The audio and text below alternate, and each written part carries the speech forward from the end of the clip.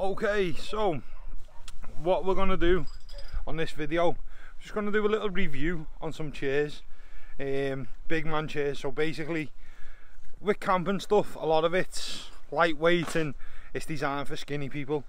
Myself, Brownie and Andy were larger lads, um, me being the biggest. So all of our chairs are rated to 150 kilos.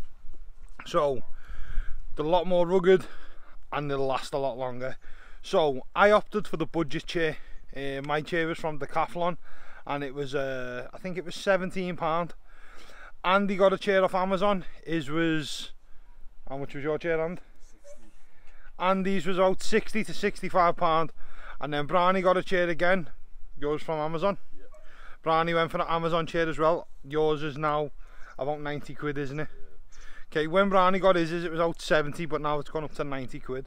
So what we're going to do, we're just going to talk you through the chairs and give our honest opinion on what one we think's the best value for money and the best chair. Um, so, going to start off with mine first, being a budget chair. So let I'll talk you through mine now and show you the chair. I'll flip the camera around. Okay, so my chair was just from Decathlon. Uh, so where I live in Liverpool and Huyton, our local Asda's got a Decathlon store in it. So when I went in, they had these on sale, but you can get them off their website as well. Yeah, Decathlon's good. It's like a budget, does all like budget camping gear up to high-end camping gear, so it's really good. So this is the chair I got. It just looks like a normal uh, cheap camping chair you pick up from anywhere, markets, Asda, stuff like that. But it's, it's load rated to 150 kilo. Doesn't have a bag with this one. All it has is a elasticated fastener. So you wrap it around and it fastens the chair which I think is pretty good because I always lose the bags anyway. And the actual shoulder strap is riveted to the to the chair which I think is quite good. Comes in really handy. As I say I always lose my bags. I forget to tie them to the chair next minute. The wind's blowing them away. So for easy setup it's just literally clip it off and open out knock them down and we're done nice and simple. Yeah you sit down. Where you go. Nothing. No fancy bits no fold up tables or anything like that. Just a nice easy simple chair and I think this was about I'd say about 17 pound give or take. I will leave the link for it in the description below. So that's my my chair and a little bit about it. So now we're going to go on to Andy's chair which is more of a mid-range chair and Andy's going to talk you through it Right, I'm Andy, and this is my chair, which I got from Amazon. Was uh, on Amazon at the moment, it's 52.99, but reduced to 33 quid. So if you want it, it's on there. uh, it comes in a bag with a strap.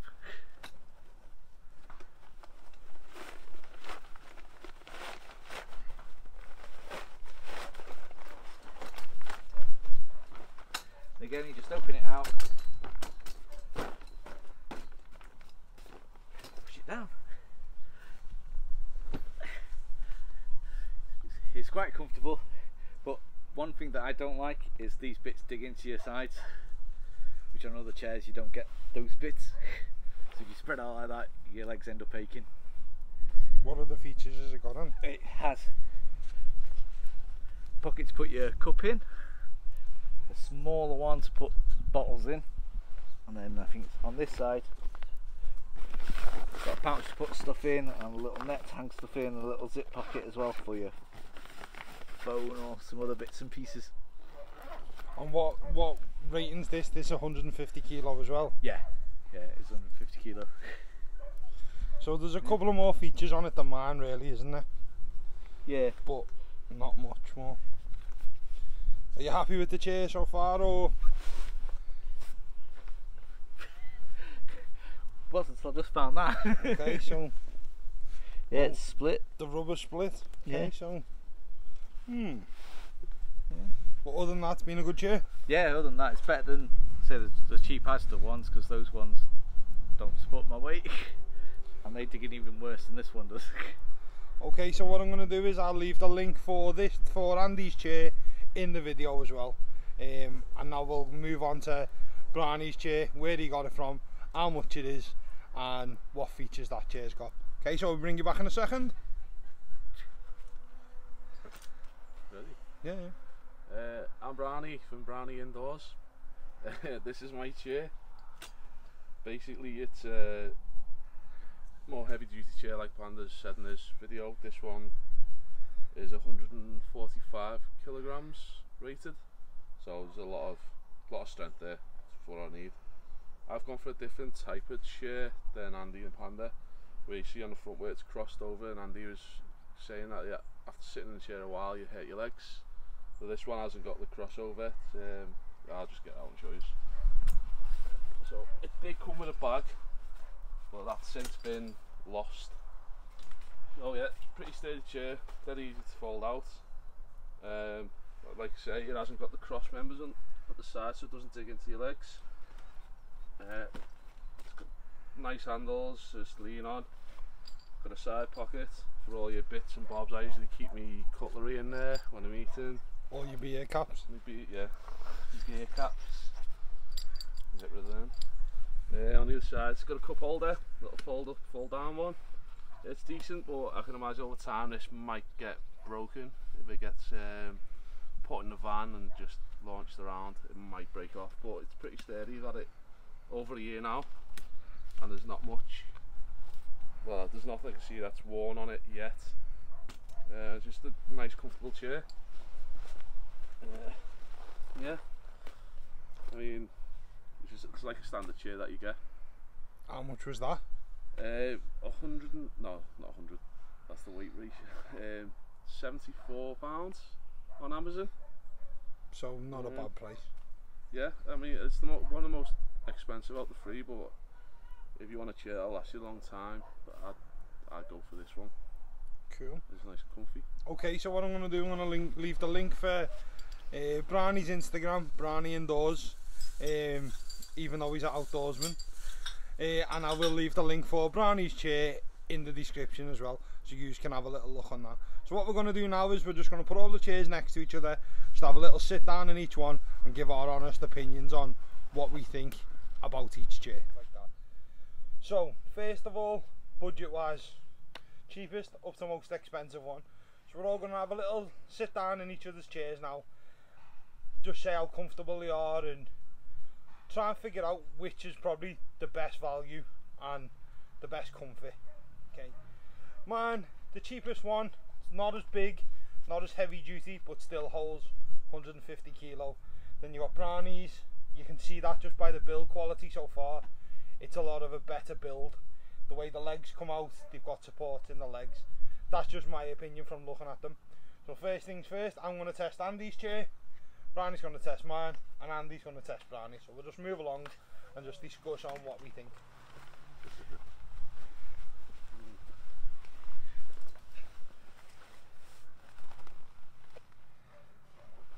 So, from sitting in Andy's chair now, it's got a wider stance to mine. Um, so the crossbars that Andy was on about, these don't dig in as much as they do with my chair.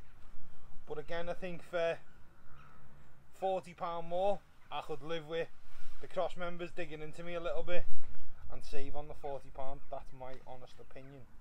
Uh, what are you thinking about mine, Brownie?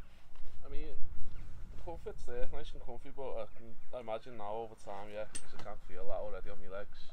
It's it's not a miscomfort. It's just if you're sitting in the chairs for long periods of time, just imagine it being getting uncomfortable and having to swap your legs. And, but I, don't, I don't really. The reason I went with my my chair, is I don't really like the way your armrests material. Yeah, yeah. There's not much. I mean, if you're a heavier lad and you you want to get up and use your weight, I mean, you're running the risk of ripping. Yeah, that, the that's why I'm looking more to your chair. With me having my knee operation, um, I struggle sometimes getting up after having a knee op.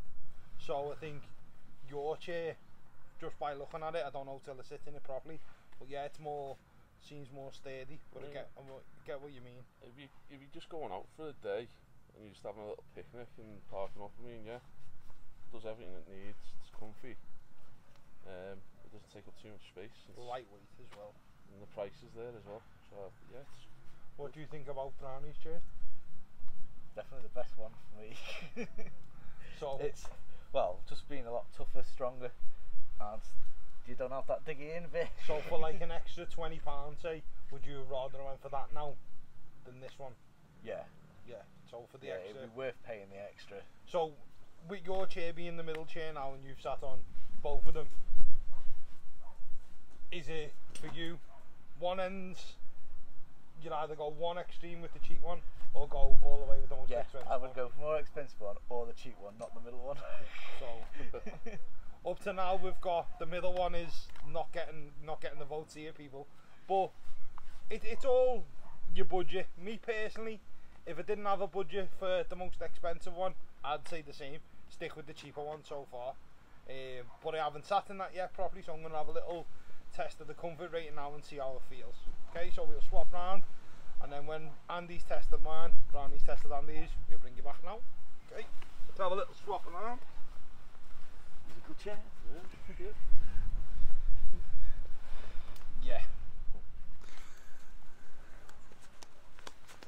Okay, so take two. There'll be some outtakes for this one because the camera's just pissed off on itself. Okay, so we've swapped chairs now. I've just had to redo the camera. Um, so, Brownie, you go first. What do you think now after you've sat in all three? Yeah, I mean, compared to that one, which is cheaper, this one doesn't feel as sturdy as that one. Bizarrely, it's like more movements in the material, Yeah. and the, the frame, that one's like a bit more solid than this. But no, it's, it's good, it's a bigger It's chair. a bigger chair. You can have a wider I stand like say, if I want to get up and I'm putting my weight, I don't really want to put my full weight on these. on them. And again, it's got the, uh, it's not got the full armrests. Yeah. But Get- the, uh, it's good for like your uh, storage. So, You got, your- you got your two, two, one for like a big drink and one for the bottle or Yeah. something like that. and then a little admin pouch inside. But decent. But again, though, if you wanted an admin pouch, you could probably pick an admin pouch up that clips on for about five or six quid, and then you're mm. still forty quid better off. Yeah. So what are you saying now? You've sat in all three. Is it the same with you? It's either if you can't afford this one, you're gonna go the cheaper one. Yeah, it's depending on what I'm going to use it for. If it's, like I said before, if it's just going out for a day, you're going for a walk, a hiking, and you've got your, your uh, chair with you, you stop off for a picnic or whatever, I'd go for the cheaper one. So you're just not a gonna, bit lightweight. yeah, you're not going to be sat in it for long periods of time, and yeah, As I say, I've had my chair the same amount of time as yours, and we've put both of the chairs through the paces, and both of ours have stood up.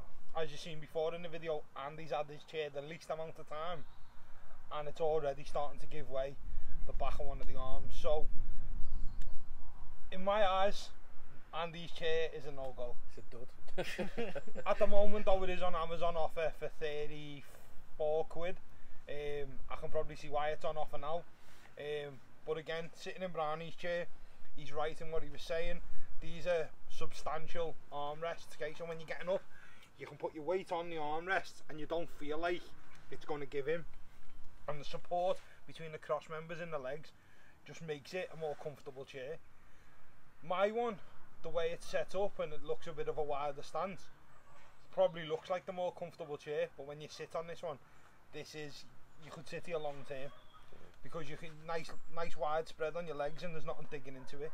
Again, I like the design of the little fold out cup holder just there. The only thing I'd say is be mindful of it when you're putting it away. Always fold it away before you pack it into a boot or anything like that, like Brownie was saying, or it might snap off. yeah, I can imagine that over time that that will, Give him. yeah.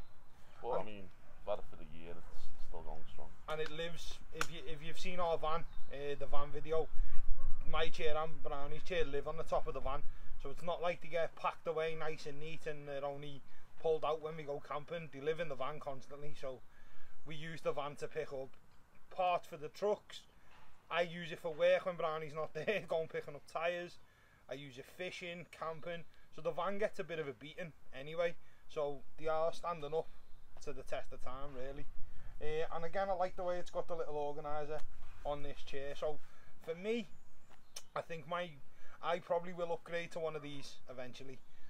Just because when we're doing more longer camps over a weekend or whatever, this is what you want to be sitting on all weekend instead of that. But as Brownie said, if you're going out fishing, going for just a little picnic or a little day out where out in the 4x4s and you just want something to sit on for an hour, half an hour while you're making your dinner, that's probably a good option. And for the price, it's never going to let you down. I mean, to me, there's not much difference between actual comfort and the shore. You know, Yeah. when you sit in it. I mean, this one's comfy to sit in. So is that one, and so is that one. Yeah. But just like you said before, just however long you're going to be sitting Yeah. in them.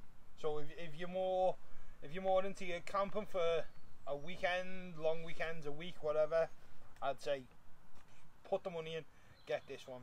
You're more of a weekend warrior that does one night camping or you're going out for the day fishing or something like that. The cheaper the chair is, in my opinion, a bit of an all round that does everything. So for most value for money, again, I'd say the, the cheaper chair. The only Yeah. downfall to that one is there's no admin pouch. Yeah, there's no admin pouch on that one, but you could probably buy an admin pouch from Amazon for a couple of quid um, to add it on onto it. So in my eyes, I'd say the cheaper chair um, for everyone who's starting camping to go to. What's your vote? For starting, yeah, cheaper. Just go cheap because you don't know if you're gonna like it or not. Um, I'd always start off getting the cheaper equipment because then you know not what not to buy. Yeah, Um, and then obviously if you want to get more into it, then you can invest in better equipment. But uh, don't do what I do and just get the most expensive one. not always expensive isn't always best. no, it isn't. As you can see, Andy went for a chair that he thought was going to be. In the middle, good value for money, and this is the one that we've deemed Just not buyable, basically. So what are you saying, and what would you say if it was you now, your money, you had to spend your money? What would you go and buy? I'd buy that one. But that's because I know I'd use it enough that I would get my money's worth of buying the more expensive one.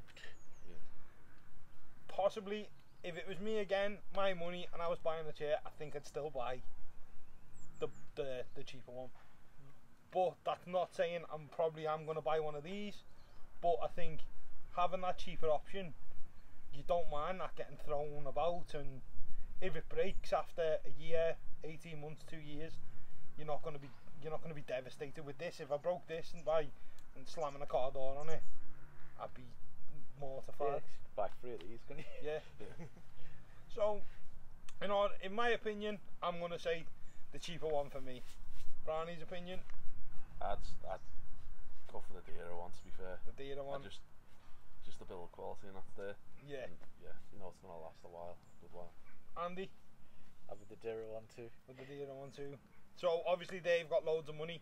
With me, I'm poor, so yeah, and I buy stupid stuff like Still knives paying and that off monthly. all the time. Brownie got this out the catalogue. He pays two pound a week for this. uh, hopefully, it's paid off next year. Uh, but yeah, so as you see, we've gone. The three of us have gone down the scale: budget, mid-range, and high-end gear.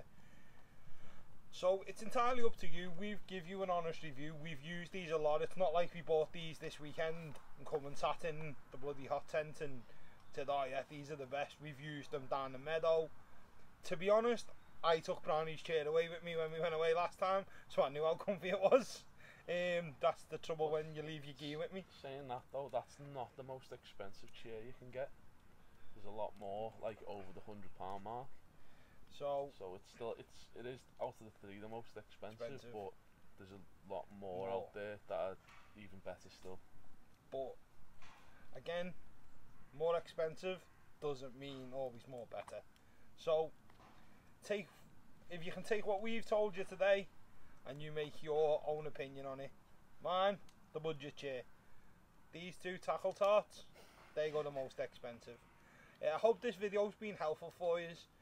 Gonna try and do a few more kit reviews anyway, for the simple reason is all three of us have got the same hobbies. We both play airsoft, we the three of us go airsoft, we do bushcraft, wild camping, and we do a bit of four wheel driving.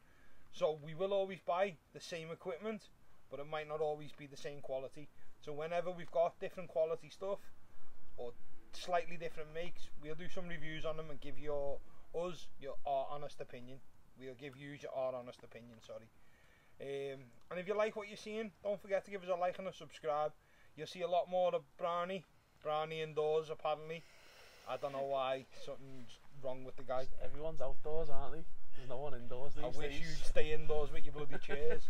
um, so I'll leave Brownie's link so there'll be pictures from the weekends that we go away on Brownie's Instagram as well. Andy, unfortunately, he's not allowed Instagram. Um, I don't know why. Might have to ask the police. I don't know. Uh, I'm only joking. Um, Brown, Andy doesn't really use Instagram, um, but he's always in the videos and stuff like that. So give us a like, a subscribe, and make sure you click that bell icon for notifications.